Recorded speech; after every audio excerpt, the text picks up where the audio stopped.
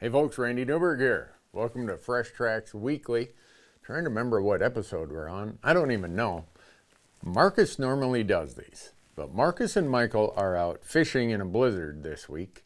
I'm not sure if they're catching anything, but they're out there doing that. So I told Marcus I'd fill in. The rest of the crew is out turkey hunting. I didn't go with because turkey hunting has too many unwritten rules. They told me I can't shoot jakes. Supposedly that violates some sort of ethical unwritten rule. And they told me I can't shoot them out of a tree. So I said, heck with it. You guys go turkey hunting. I'm not going turkey hunting.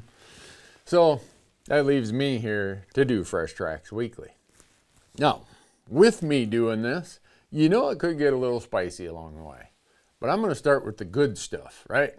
The good stuff is in the last weekend, uh, Rocky Mountain Elk Foundation celebrated its 40th anniversary. They had a big celebration where they brought in 600, or not, they brought in 600 of their volunteers, just serious hardcore conservation people, showed up in Missoula for the big bash.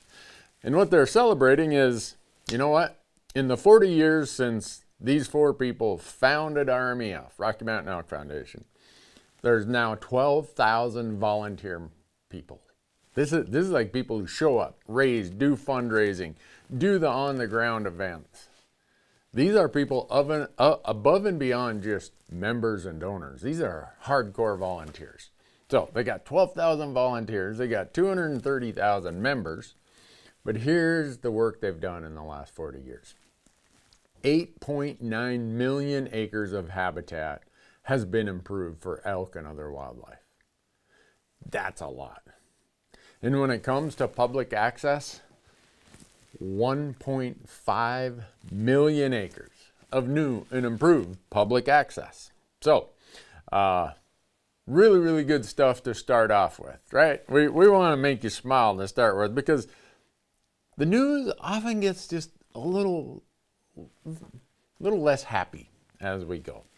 And unfortunately, after starting with this really upbeat news about the Elk Foundation and all their accomplishments and their amazing volunteers, now we got to get into the category of politicizing wildlife management. And in prior episodes of Fresh Tracks Weekly, Marcus has talked about a lot of this stuff. But we continue to see legislatures mess with wildlife commissions. I, eh, the authority of the commissions, the ability of those commissions to manage wildlife without political interference. Well, it seems like these states just got to prove that now wildlife issues are part of the spoils of political victory. It's unfortunate, but it's a reality. In Nevada, now there's an effort where they want to examine and scrutinize who should be allowed and what the composition of their commission membership should be. And then we got this Vermont operation out there, which I always thought Vermont was a state where serious hunters, anglers, trappers, all that. Uh, I think it's called Senate Bill 258. Tried to completely redo their commission, what powers their commission had. Uh, that one's out there. In Kansas, there's a bill that they thought they had it defeated, then it popped back up. Uh, I think this is House Bill 2530. This is going to change who in the legislature, the governor, attorney general, who gets to appoint commissioners and what the makeup of that body should be. The reason I bring these up is that a lot of people think, well, this crazy political stuff when it comes to wildlife issues, that's just, you know, a California thing or We've seen it recently in Washington and Oregon and even Colorado. And a lot of people think, oh, that, that's not going to happen in my backyard. Well, it's happening in all of our backyards. So we want you to stay informed. We want you to be informed. And one of the great ways to do that is to sign up for a newsletter from one of your state based groups. They have people usually in your state legislature. There's also a group called Howl, and their website, we'll throw it up here on the screen, howlforwildlife.org. You can sign up for their emails, and you'll get emails not just about your state issues, but also about national issues. So, Other things that are going on, as much as we're all waiting for our, our drawing results, May is like the month when most of the western states start publishing their draw results. Uh, we're also waiting for the court decision on the Wyoming corner crossing case. Next week in Denver, the 10th Circuit Court of Appeals will start letting us know where that case is going and what their decision's going to be.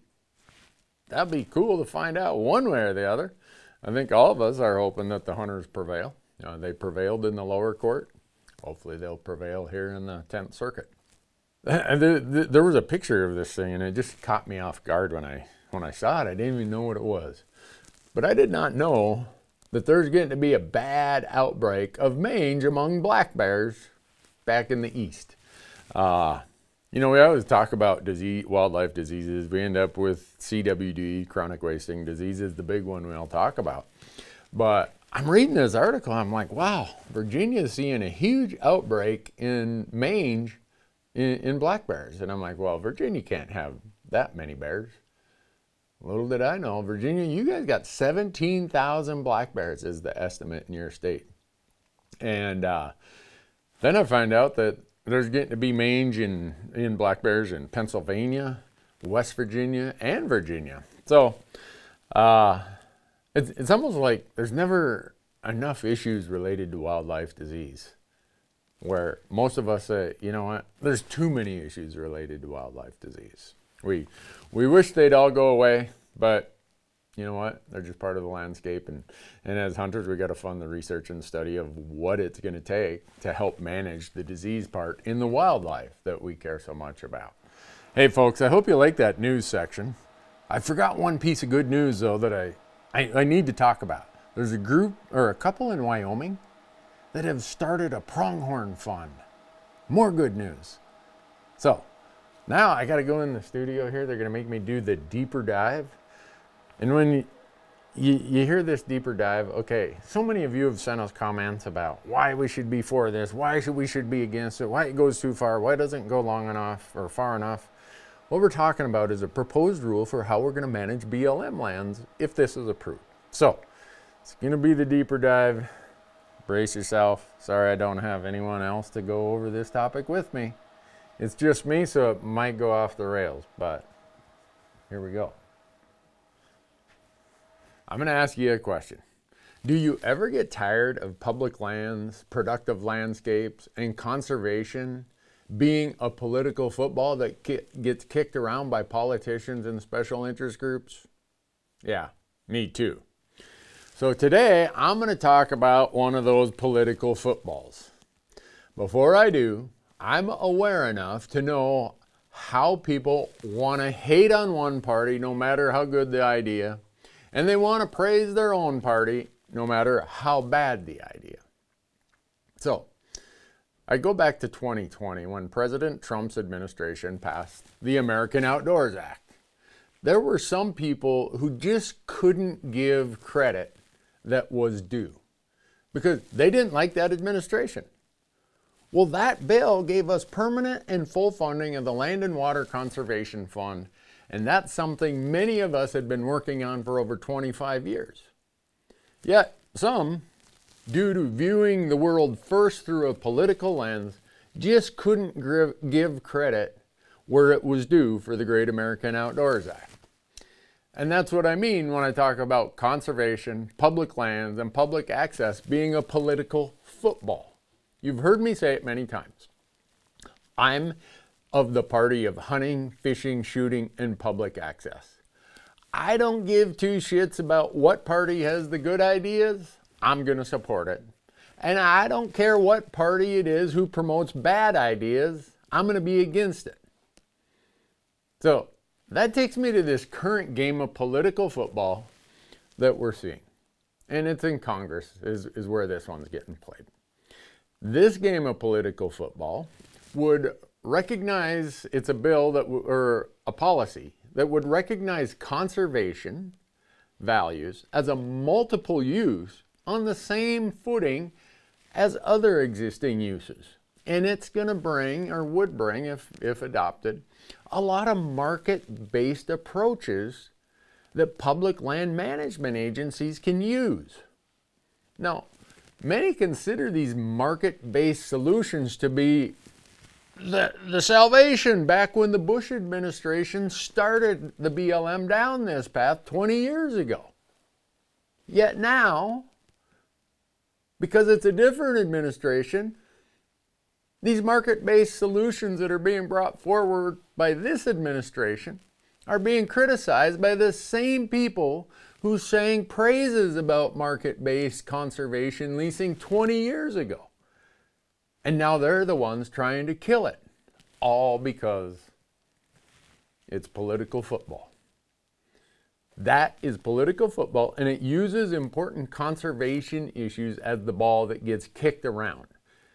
Not based on the policy, based on who's in office rather than the underlying benefits of the policy that's being considered. And that's the stuff that drives me nuts. I was just back in DC two weeks ago, and it's like, oh, you people, I have no use for this political football, and I will use my platforms to promote the good ideas and to try and defeat the bad ideas, no matter who's in office. So, now you're probably wondering, Randy, what is it you're referring to that you'd skate this far out on the thin ice and expose myself to the critique that I know is going to come from the hyper partisans on both sides? Well, I'm talking about the proposed BLM public land rule that would include conservation and wildlife values as a qualified consideration equal to the many existing uses of public lands under this multiple use mandate. Last week, I think it was, or the week before, last week, the House of Representatives in DC just passed what's called the West Act.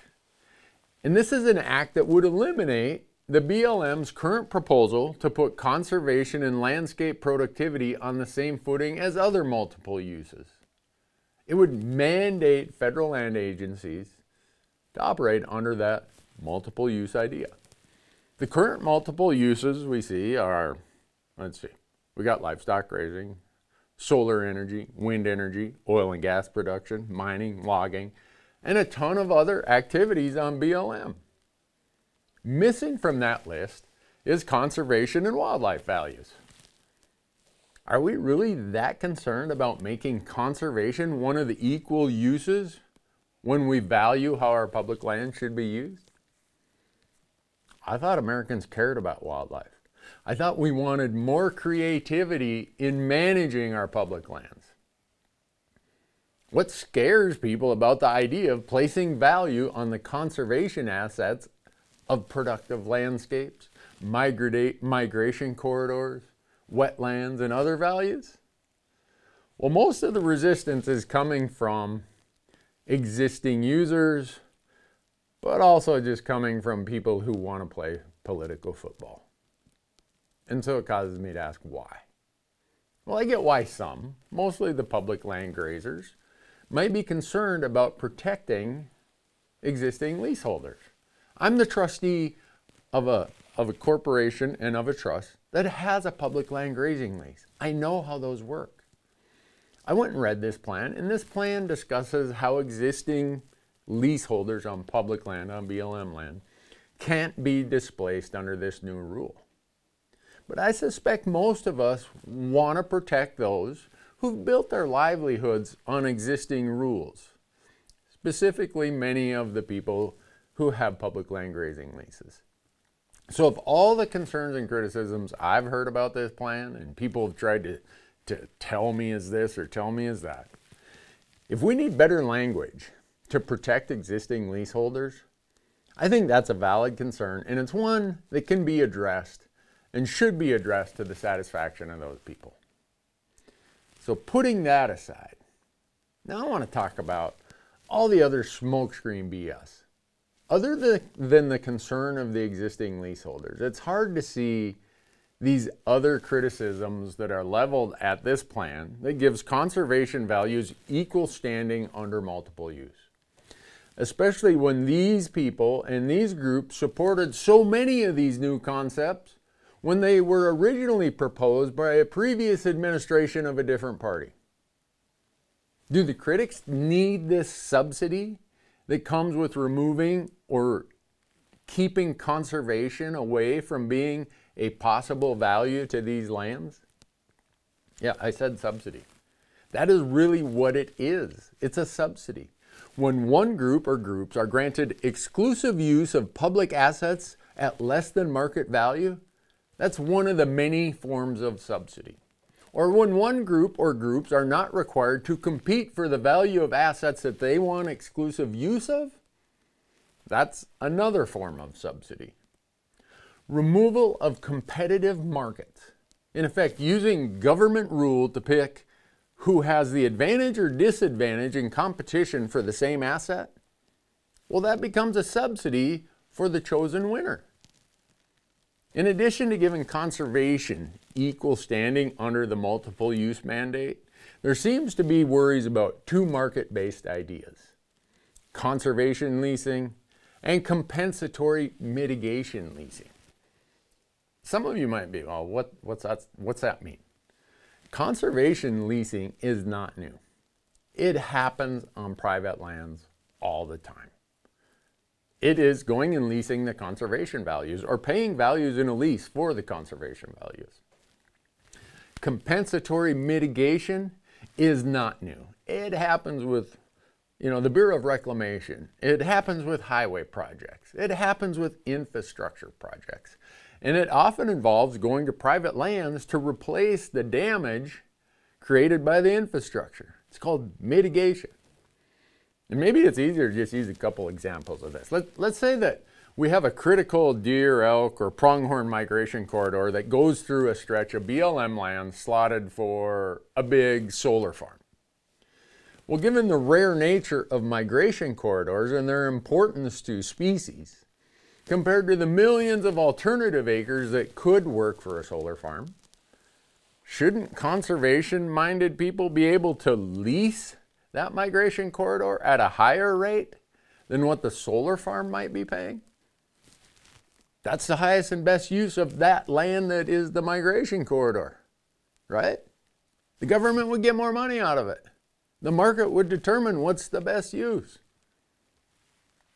Now let's use an example of the, the, the idea, and, and this one's so common, I'm surprised it's, it's even a concern. Compensatory mitigation leasing. Let's say a surface mine is approved in an area of critical sage communities that pronghorn, mule deer, sage grouse, they all rely upon it. So the company that is awarded the lease for the mine agrees that for the habitat loss, they're going to go out to other BLM lands and they're going to lease other BLM lands to mitigate and improve to offset the impacts created by the habitat that's impacted from their mining activity. This gives the BLM users the opportunity to use compensatory migration or mitigation leasing to offset their impacts. Because right now, the only real way we solve that, litigation. Litigation doesn't help anybody. So why wouldn't we give a mine the opportunity to go and do their mitigation on other BLM land. I have no idea why that's controversial. I thought we wanted government land agencies to be more creative. I thought we wanted more competitive markets. Thought we wanted true multiple use. Thought we wanted more solutions that have been proven to work on private lands. Don't we? Do market based solutions that give conservation equal footing scare that many people? Well, it scares some people. And that's the head scratcher of all this. I see people trying to kill efforts to give conservation equal standing. And when they do that, there's a huge level of hypocrisy in those actions and their positions. In my personal life, I need all these resources that come from public lands. I like that public lands are a place where these resources can be utilized, can create jobs and economic activity, and provide us what we need. Yet the groups opposing these ideas on other topics and in other discussions, they often complain about subsidies. They complain about lack of competition. They complain that agencies lack creativity found on private management, private land management. They talk about how they like free markets. They talk about how they want multiple use.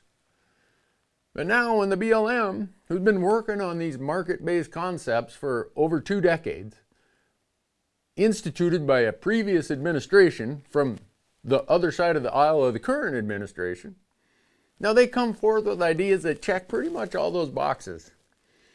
And we have these currently favored groups trying to kill it.